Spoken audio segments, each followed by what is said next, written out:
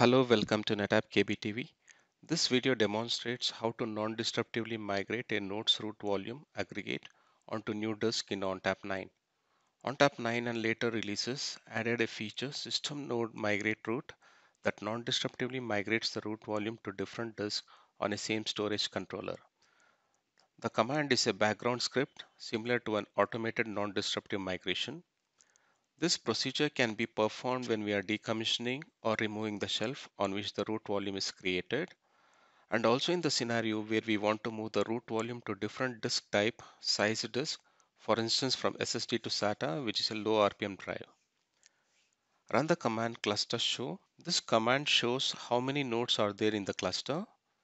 This is a two node cluster node 1 and node 2. Now run the command vol show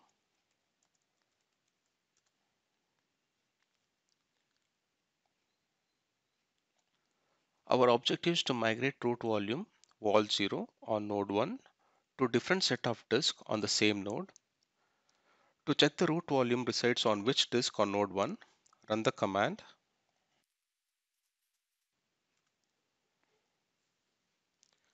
Currently the root aggregate is partitioned across these three disks that is 1, 3 and 5.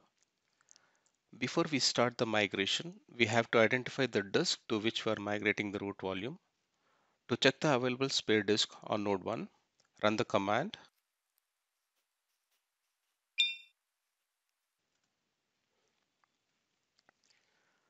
These are all the available spare disk on node 1. Now let us start the root volume migration. Enter advanced mode run the command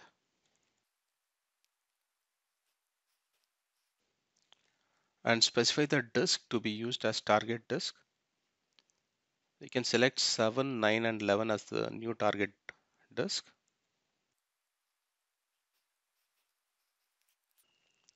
This operation will create a new root aggregate and replace the existing root on the node 1. The existing root aggregate will be discarded